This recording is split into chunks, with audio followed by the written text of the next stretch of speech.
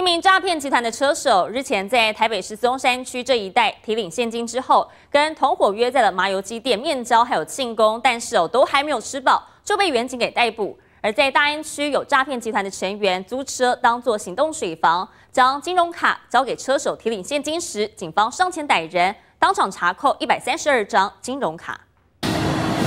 两名男子肩并肩吃着热腾腾的麻油鸡，接着从包包里面拿出好几叠白花花钞票，点得很开心。但没多久，警察现身，见到警察一阵错愕，因为他们都是诈骗集团成员。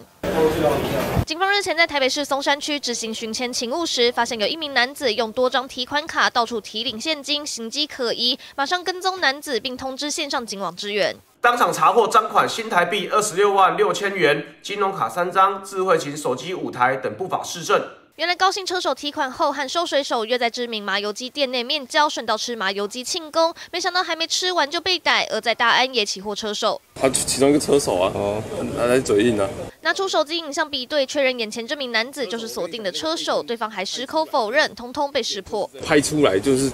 脸就是这样啊！警方在大安区巡逻时，发现停车场内三名男子疑似是诈骗集团成员，上前盘查，发现他们以俗称洗车的方式租车当作行动水房据点，将读卡机接上笔电或手机，用网络银行查询人头账户状况，再将未受警示且已入账的金融卡交由车手提领。警方现场查扣一百三十二张金融卡，还搜出毒品，当场逮人移送侦办，后续也将清查被害人数向上溯源。记者曹慧周中林台报道。